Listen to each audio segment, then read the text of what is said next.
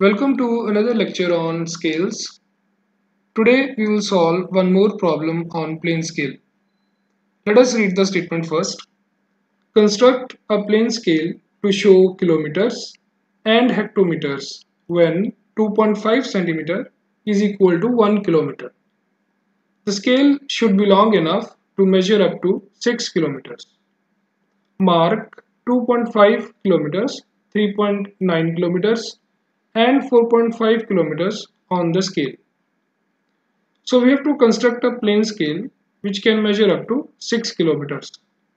And we know that we cannot draw a line of 6 kilometers on our paper.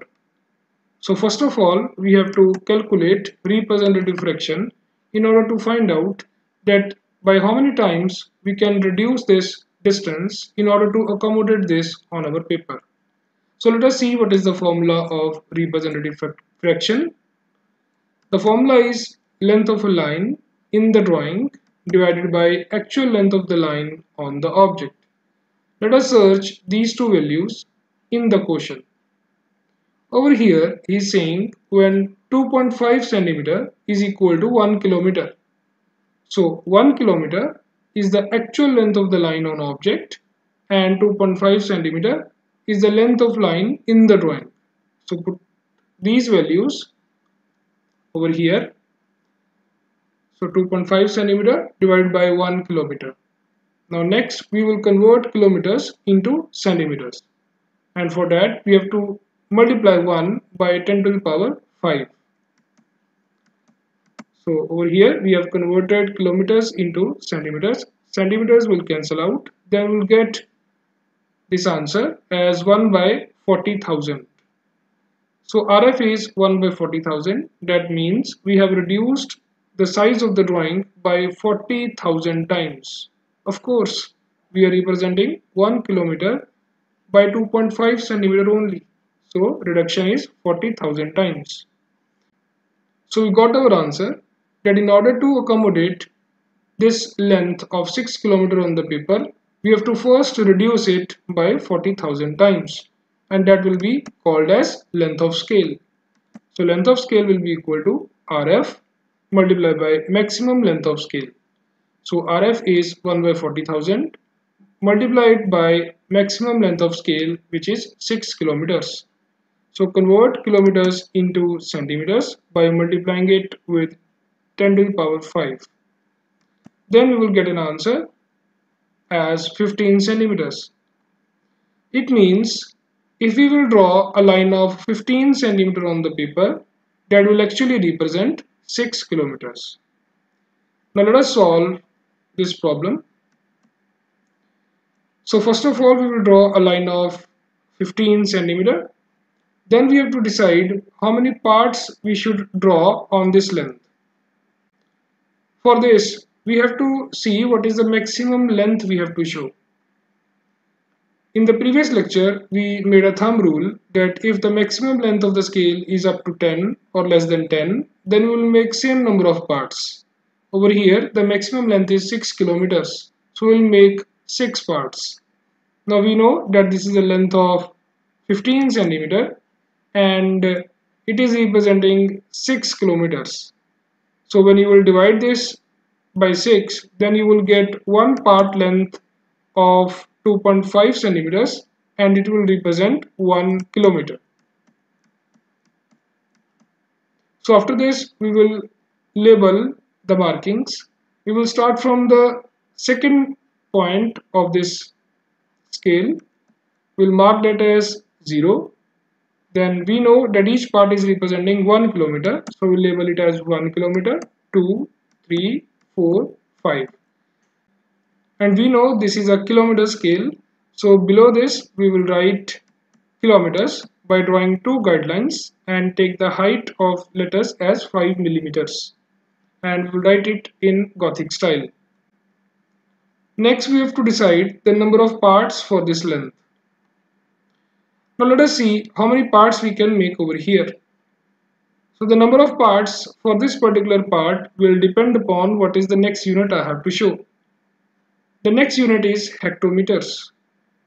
But over here this part is representing 1 kilometer. So we have to convert this part into hectometer scale. So for that we have to see the relation between kilometers and hectometers. So let us see what is the relation between these two. We know 1 kilometer is equal to 10 hectometers. It means if we have to convert this part of 1 kilometer into hectometer scale, then we have to make 10 parts over here. And the length of this part is 2.5 centimeters. So if we will divide it into 10 parts, then length of one part will be equal to 2.5 millimeters and that will represent 1 hectometer. So we will make 10 equal parts. Each part will be of 2.5 millimeters and that will represent 1 hectometer. Now we have 10 hectometers over here. So this is a hectometer scale.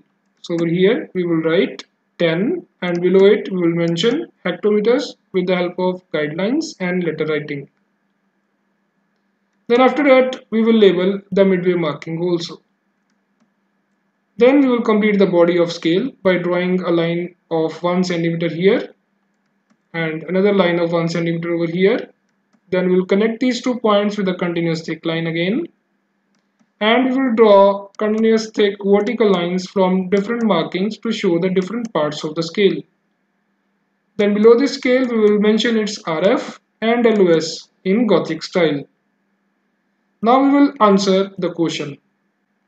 The first dimension we have to show as 2.7 kilometers.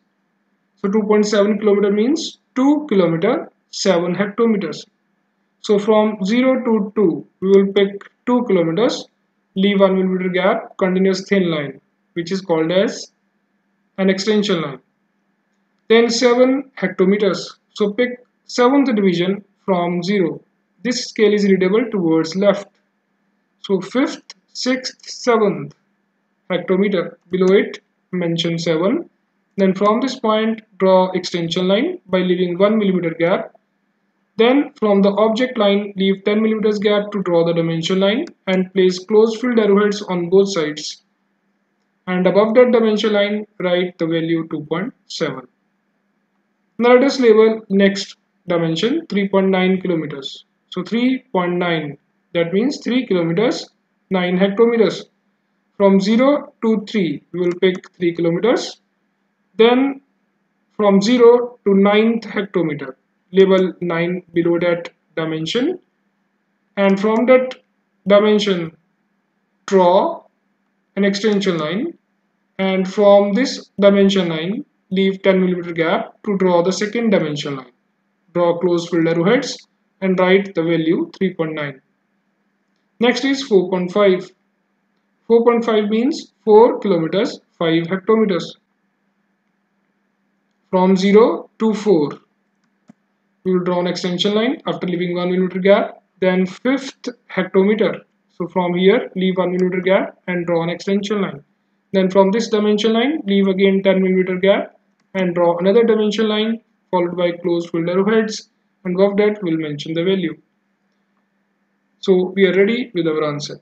I hope this particular question is clear to you. Thank you very much